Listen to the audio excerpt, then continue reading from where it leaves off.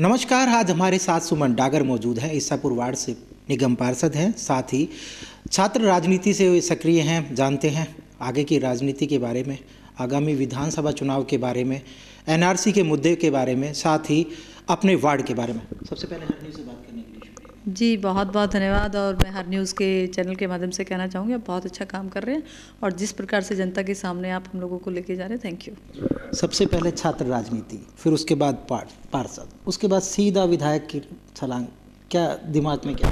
देखिए जिस प्रकार से हमारा पार्टी हमारे विचारधारा काम करती है वो व्यक्ति निर्माण का काम करती है। व्यक्ति निर्माण के साथ साथ हम देश के निर्माण की बात करते हैं। और जब हम विद्यार्थी परिषद में, अखिल भारतीय विद्यार्थी परिषद में काम करते थे तो छात्रों के हितों के लिए काम करते थे। किस प्रकार से एक अच्छी एजुकेशन हो, बेटर एजुकेशन हो, अच्छी परिवहन व्यवस्था हो, अच्छी परीक्षाएँ हों, अच्छे प्रवेश हों, हम उन मुद्दों पर काम करते थे। उस, उसको काम को सीखते सीखते हमने जब युवा मोर्चा मैंने ज्वाइन किया तो युवा मोर्चा में भी किस प्रकार से एक सोशल कॉज के लिए काम करना है किस प्रकार से विचारधारा को आगे बढ़ाना है किस प्रकार से राष्ट्र निर्माण का काम करना है किस प्रकार से चीज़ें तो मेरी पार्टी एक ऐसी पार्टी है जो ये नहीं दे, देखती कि कि कि ये विशेष परिवार से आती है या कैसे परिवार से आती है वो हर एक कार्यकर्ता का हर एक व्यक्ति का निर्माण करने वाली पार्टी है। तो इसलिए पहले छात्र राजनीति और छात्र राजनीति के बाद फिर हम अपने संगठन की सेवा करते हैं अपने संगठन में जो संगठन ज़िम्मेदारी देता है हम उसको परिपूर्ण तरीके से निभाते हैं। बात करी जाए विकास की बात करें साढ़े चार साल भारतीय जनता पार्टी आम आदमी पार्टी के खेमे में ये बातें डालती रही। उसके बाद आम आदमी पार्टी ने बोला कि हमें भारतीय जनता पार्टी काम नहीं करना उससे अब कितना देखिए इस बात में जनता बहुत समझदार है। पिछले साढ़े चार साल तक वो ये कहते रहे, मोदी जी काम नहीं करने दे रहे एल साहब काम नहीं करने दे रहे। इन छः महीनों में जैसे उनको दिखा कि चुनाव आ गए जनता को रिपोर्ट कार्ड देना पड़ेगा, जनता जवाब मांगेगी तो एक वो चीज़ फ्री फ्री एक चीज़ ले आए, free free free free free. लेकिन वो अपने एजेंडे पे बात नहीं कर पाते, वो अपने मैनिफेस्टो पे बात नहीं कर पाते, जिस प्रकार से उन्होंने एक आंदोलन से निकल के ये कहा था, हम जन लोकपाल बिल लेकर आएँगे। हम कई सारी चीज़ें अच्छी करेंगे, हम भ्रष्टाचार के खिलाफ बात करेंगे, हम ये करेंगे, हम वो करेंगे। उन पे आज वो कहीं बोलते हुए आपको नहीं दिखाई दे रहे हैं।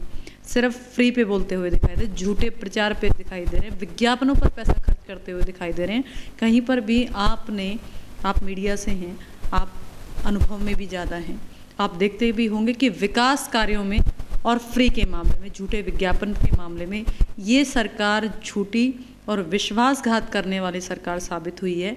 और इन चार चार महीनों में जो इन्होंने फ्री का एजेंडा फैलाया है, उससे सब स्पष्ट दिख रहा है कि बसें फ्री कब तक है? मार्च तक है। बिजली फ्री कब तक है? मार्च तक है। पानी फ्री कब तक है? मार्च तक है। बुज़ुर्गों को आज आज इनको बुज़ुर्गों की याद आ गई पहले बुज़ुर्गों की पेंशन नहीं आ रही थी, आज ये तीर्थ यात्रा करा रहे हैं। पहले सताओ, फिर मनाओ। आज इनको बुज़ुर्गों की भी याद आ गई तीर्थ यात्राएँ करा रहे हैं। जब चुनाव सर पर आ गए, जब इनको चुनाव में जाना था तो ये सिर्फ़ चुनावी स्टंट है चुनावी हथकंडा है और मैं ऐसी पार्टी की भरपूर निंदा करती हूँ कि सिर्फ़ वोट बैंक की राजनीति आप करते हो आपके ऊपर लानत है जनता ने आपको इतना बड़ा मैंडेट दिया था आपने जनता की फ़िक्र नहीं करी। बात आपने आम आदमी पार्टी पर तो लिगेशन लगा दिया जो अनाधिकृत कॉलोनियाँ थी आपने भी एंड टाइम पे किया है उसके बारे में। देखिए साहब पंद्रह साल तक कांग्रेस की सरकार भटकाती रही केजरीवाल साहब लटकाते रहे। हमने तो एक झटके में करके दिखा दिया। मोदी जी ने तो एक झटके में कर दिया। कोर्ट के और केंद्र सरकार के कहने के बावजूद भी केजरीवाल सरकार ने कॉलोनियों के नक्शे तक नहीं प्रोवाइड कराए। बार बार हम कहते रहे। लेकिन जैसे मोदी टू गवर्नमेंट आई, हम इसको अभी भी चुनावी एजेंडा बना सकते, चुनावी मुद्दा बना सकते थे कि हम अगर हमारी सरकार आएगी तो इसको अनधिकृत को अधिकृत करेगी। लेकिन नहीं। हम कहने में नहीं, हम करने में बिलीव करते हैं। धारा 370 जैसे बड़े मुद्दे जब सॉल्व कर दिए। तो दिल्ली की जनता ने इतना बड़ा, ये एक पीड़ा थी हमारे जनता के सामने, अनधिकृत कॉलोनी का, खुद का स्वयं के घर होते हुए भी, उसका स्वयं का फील ना हो पाना, ये बहुत बड़ी पीड़ा थी। और मैं मोदी सरकार को धन्यवाद देती हूँ कि उन्होंने पूरी समस्याओं से पार जाते हुए अच्छे से ब्लूप्रिंट तैयार किया, इसका पूरा प्रॉपर वे ऑफ़ वो तैयार किया। और सारी चीज़ें तैयार करने के बाद इसको काम को करके दिखा। भारतीय जनता पार्टी के कोई भी नेता से बात करें, आंकड़े बड़े ज़बरदस्त होते हैं। अब हम आंकड़ों पे बात करते हैं। 2014 में 71 परसेंट भारतीय जनता पार्टी का वोट बैंक था। ऑल ओवर इंडिया की बात की जाए तो। उसके बावजूद भी 67 सीटें आम आदमी पार्टी जीतती है। अब घटकर 48 परसेंट है। तो उसके बारे में देखिए साहब, आपने 2014 की बात करी। मैं आपके चैनल के माध्यम से पूछना चाहती हूँ और आपने जिस प्रकार का प्रश्न किया, मैं सिर्फ़ एक बात जानना चाहती हूँ।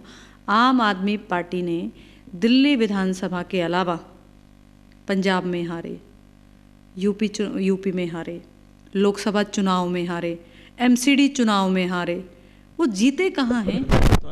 वो एक छलावा था वो जीते कहाँ हैं? वो, वो आप अभी आप भी ने बात करी ना कि आंकड़ों की बड़ी ज़बरदस्त तरीके से बात करते हैं। मैं उसी आंकड़ों पे बात कर रही हूँ कि वो अपना चुनाव छोड़ के हम तो अपना निगम पार्षद वाला चुनाव हम लोग जीते। एमसीडी में हम लोग जीते। बहुत बड़ा मैंडेट मोदी सरकार टू में हम जीते लोकसभा में जीते। वो कहाँ थे? उनकी जमानतें जब थी। और अभी आप देख लीजिएगा 2020 में उनकी हम जमानत जब्त करके दिखाएँगे। मुख्यमंत्री चेहरा कोई भी नहीं है। ये ये विडम्बना है? देखिए हम सबके जो नेता हैं हम सबके जो मॉनिटर हैं हम सबके जो हीरो हैं और जो हम सबके बॉस हैं वो मोदी जी हैं। हम सबका नेतृत्व मोदी जी कर रहे हैं। दिल्ली दिल्ली में भी मोदी के नाम पे देखिए, हमारी पार्टी का एक संस्कार है।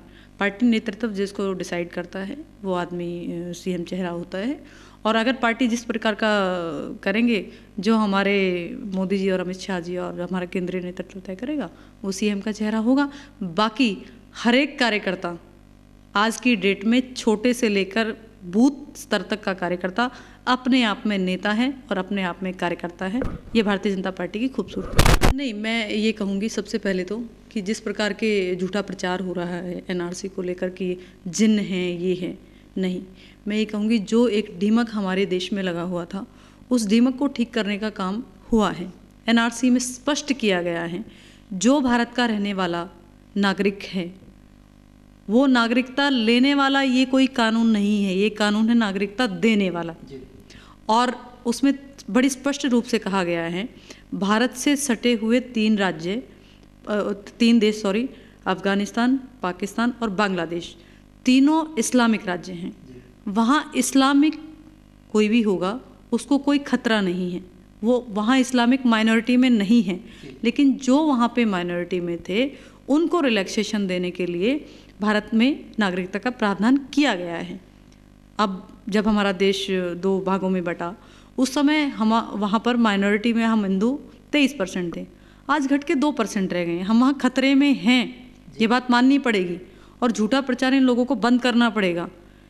इन तीन देशों से जो भी हिंदू आएँगे उनको यहाँ पर नागरिकता दी जाएगी। हिंदू क्रिश्चियन जैन बौद्ध जो भी आएँगे, उनको नागरिकता देंगे। ये सबसे पहले तो ये समझने वाली चीज़ है, नागरिकता देने वाला कानून, नागरिकता लेने वाला कानून नहीं है।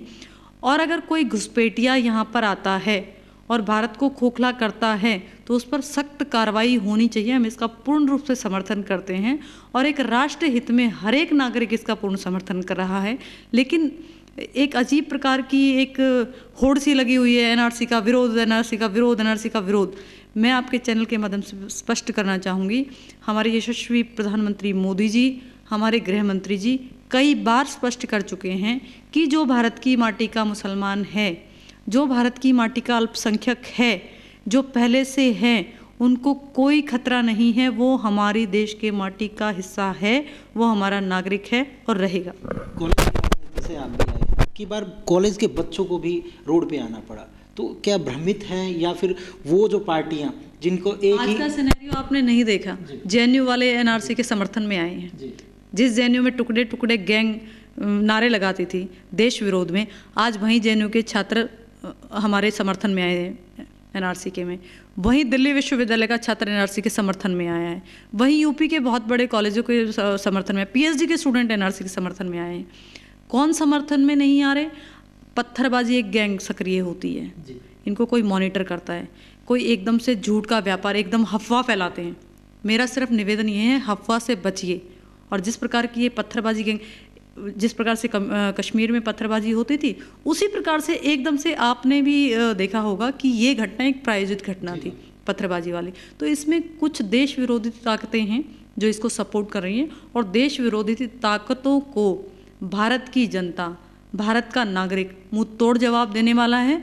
अफवाह ज़्यादा दिन की रहने रहने नहीं वाली है। ये पानी में बुलबुले के समान है। बहुत जल्दी ख़त्म हो जाएगी। आंकड़ों की बात की जाए तो दिल्ली में कितनी सीटें देखेंगे भारतीय जनता? देखिए सर दिल्ली में हम पूरी की पूरी सीटें जीत के आ रहे हैं। सर जुगाड़ की राजनीति नहीं नहीं बिल्कुल जुगाड़ की राजनीति की नहीं करेंगे। हम साठ पार जाएँगे। पचहत्तर पार हरियाणा आपके सटीक जो बिल्कुल सटा हुआ स्टेट है वहाँ पर रह गए। चालीस। देखिए जनता का मैंडेट है लेकिन हमने कहा हम वहाँ सरकार बनाएँगे हमने वहाँ सरकार बनाई है। महाराष्ट्र में? महाराष्ट्र में हमारे मित्र थे।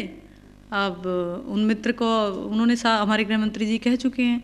हमारे मित्र थे चुनाव से पहले का की जो बात थी वो अलग थी लेकिन चुनाव के बाद जो उन्होंने विषय रखा वो कहीं ना कहीं आपस में तालमेल नहीं बन पाया। उनके मित्र थे हमारे मित्र थे अगर वो हम उन्हें हमारी मित्रता पसंद नहीं आई तो उसमें हम क्या कर सकते हैं? कांग्रेस पार्टी कहती है कि एनआरसी का स्वागत तो झारखंड ने कर दिया है, उसके बारे में। नहीं नहीं, ऐसा नहीं है। ये एक प्रजातंत्र है। प्रजातंत्र को राष्ट्र हित के साथ नहीं जोड़ के देखना चाहिए। ये भारत की खूबसूरती है कि यहाँ लोकतंत्र है और लोकतंत्र में अपना मत का अधिकार, मत का प्रयोग करना बड़ी खूबसूरत की चीज़, बड़ी ही अच्छी खूबसूरती है इसमें। और मुझे ऐसा लगता है कि लोकल मुद्दों और राष्ट्रीय मुद्दों को अलग रखना चाहिए। अगर झारखंड में कोई चीज़ रही है तो वहाँ पे हमारी पार्टी उस पर देख रही है कि क्या कमियाँ रही हैं। और राष्ट्रीय हित में अगर आप उसको चुनाव को जोड़ोगे तो ये ठीक नहीं है। अब राष्ट्रीय मुद्दों के हटाकर अब आपकी विधानसभा में आते हैं। सबसे मेन मुद्दा है पानी का दूसरा जाम का जिसमें आप भी कई बार फंसे होंगे। उसके बारे में सुमन डागर क्या? देखिए पानी के मामले में तो मैं पूरी दिल्ली सरकार को घेरना चाहूँगी। पानी के सैंपल लिए गए 21 राज्यों के। लेकिन दिल्ली की जनता को दूषित पानी पिलाने का काम केजरीवाल सरकार ने ही किया है तो ये तो आगे ही रहेगा नजफगढ़ तो। वो कौन सा, क्यों मंत्री उनके हैं? अगर मंत्री उनके तो 21वें नंबर पे हमारे सैंपल आए, दिल्ली के सैंपल। तो दूषित पानी यहाँ पर रहा इसमें कोई दो राय नहीं है। ये पानी देने में ये सरकार फेलियर रही है। शुद्ध हवा देने में सरकार फे, सरकार फेलियर रही है। गैस का चैम्बर दिल्ली को बना दिया गया है। इन्होंने बोला कि हम एयर प्योरीफायर टावर लगाएँगे। एक भी पैसे का उस पर योजना नहीं बनाई गई। एक पैसा उस पर खर्च नहीं किया गया। इसलिए ऑड इवन ला के भ्रष्टाचार को बढ़ावा दे दिया गया। जनता को तंग करने का चीज़ें कर दी गई। बड़े बड़े विज्ञापनों पर पैसा खर्च कर दिया गया। लेकिन एयर क्यूरी क्यूरीफाई टावर एक भी नहीं लगा पाई। गैस चैम्बर इन्होंने बना दिया। वहीं केंद्र सरकार ने तो पेरीफेयर बाहर बाहर जो आपने वो दिया है बहुत अच्छा रोड दिया ताकि ट्रैफ़िक भी कम हुआ है जैम भी कम हुआ है। तो केंद्र सरकार की तरफ़ से के निकाला है। बार बार दिल्ली की तरफ़ से हो गया तो हैवी ट्रैफ़िक से भी निजात मिली है पोल्यूशन से भी अपने को निजात मिली है। तो मेरा तो मानना ये है कि सिर्फ़ यहाँ पर ही नहीं पूरी दिल्ली में दूषित पानी इन्होंने दिया है। फेलियर रहा है। अच्छी हवा नहीं दे पाई अच्छा पानी नहीं दे पाए ये कहते हैं कि भाई हमने बिजली के रेट हाफ़ कर दिए। मैं इनसे पूछना चाहूँगी, आपने किस प्रकार बिजली के रेट हाफ़ कर दिए? दिल्ली का कुछ एरिया किसानों का भी है। आज आज आप किसान का जाके मीटर देख लीजिए, किस प्रकार का उसका दोहन हो रहा है, ना उसको टाइम पे बिजली मिल पा रही है, ना पानी मिल पा रहा है, उनकी खड़ी फ़सल खराब हो रही है। तो मैं इस चीज़ पे बिल्कुल रायशुमारी नहीं रखती कि इन्होंने बिजली माफ़, पानी हाँ पानी हाफ़, माफ़ माफ़, ऐसा कुछ नहीं है, सिर्फ़ दिखावा है, ढोंग की राजनीति ये लोग कर रहे हैं। हाँ ट्रैफ़िक व्यवस्था क्योंकि हमारे परिवहन मंत्री हमारे ही एमएलए साहब हैं। लेकिन इन्होंने कोई ऐसी योजना पाँच साल में नहीं करके दिखाई ना कोई योजना को अमली जामा पहनाया कि जिस प्रकार से ट्रैफ़िक कम हो सके। उसमें कोई ना कोई चीज़ें इनको तैयार करनी चाहिए थी कोई योजना तैयार करनी चाहिए थी लेकिन ये उसमें भी हमारे मंत्री साहब फेलियर रहे हैं। इनकी सुविधा के बारे में बात की जाए? लोगों के घर घर के बाहर गाड़ियाँ खड़ी होती है। उससे आने जाने में समस्याएँ होती है। उसके बारे में कोई भी अवेयरनेस कोई कैंप नहीं चला। ना भारतीय जनता पार्टी की तरफ़ से चलाया गया। उसके बारे में नहीं, देखिए एमसीडी ने पार्किंग की व्यवस्था के लिए एमसीडी ने कई बार प्रयास हम लोग कर चुके हैं। और जो अपना दिल्ली गेट पे एमसीडी की है तो उसको मल्टी कॉम्प्लेक्स पार्किंग बनाने का अपना विचार था। लेकिन दिल्ली सरकार ने हमारा फंड रोक दिया और बिना पैसे के हमारा एक इंच चल पाना भी मल्टी कॉम्प्लेक्स पार्किंग बहुत दूर की बात है। हम अच्छे से अपनी सफ़ाई कर पाएँ अपने कर्मचारियों को सैलरी दे पाएँ हम एक अच्छी एजुकेशन हम कम से कम प्राइमरी काम कर पाएँ। तो उसमें दिल्ली सरकार ने हमारे बिल्कुल हाथ काट के रख दिए नहीं तो हमारी योजना थी दिल्ली गेट पे जो हमारा एमसीडी का ऑफ़िस है वहाँ पे मल्टी कॉम्प्लेक्स पार्किंग क्या हमने योजना तैयार की भी थी उसका निरीक्षण भी हो चुका था। मेयर मैडम भी आ चुके थे कमिश्नर साहब भी आ चुके थे लेकिन उसमें बजट के शॉर्टेज बजट क्राइसिस के चलते हुए हम इस योजना को अमली जामा नहीं पहना पाए। अपनी विधानसभा को क्या मैसेज देना देखिए विधानसभा को मैं यही मैसेज देना चाहूँगी कि पहली बार अपने को ऐसे मंत्री मिले थे जिनके पास छः छः मंत्रालय थे। तो अगर मैं बात करूँ कि सीएम के तुरंत बाद की कुर्सी अगर किसी के पास थी तो नजफगढ़ विधानसभा के पास थी लेकिन नजफगढ़ विधानसभा में आप देख सकते हैं ना कोई एक नया हॉस्पिटल बना ना एक नया कॉलेज बना ना अच्छा हेल्थ दे पाए ना अच्छी एजुकेशन दे पाए ना ट्रैफ़िक नियम अच्छे से कर पाए ना परिवहन व्यवस्था अच्छी कर पाए। और पानी की तो बात आप छोड़ ही दीजिए पानी कहीं पर भी अच्छी नहीं दे पाए। तो मैं ये कहूँगी कि वो हर स्तर पे फेलियर साबित हुए हैं। एक टूर भी जुड़ा हुआ है। नजफगढ़ कभी भी रिप्लेस नहीं करता है। तो उससे कहीं ना कहीं मोटिवेशन तो देखिए नजफगढ़ की जनता बहुत जागरूक है। और नजफगढ़ रिपीट नहीं करता रिप्लेस करता है। रिपीट नहीं करता और नजफगढ़ कहीं ना कहीं समझदारी से काम लेता है। तो मैं नजफगढ़ की जनता के साथ हूँ। अगर वो अच्छा काम करेंगे तो नजफगढ़ की जनता साथ देती है। अगर अच्छा काम नहीं करते तो अगली बार वो अपने वोट का पूर्ण रूप से प्रयोग करना जानती है नजफगढ़ की जनता। धन्यवाद।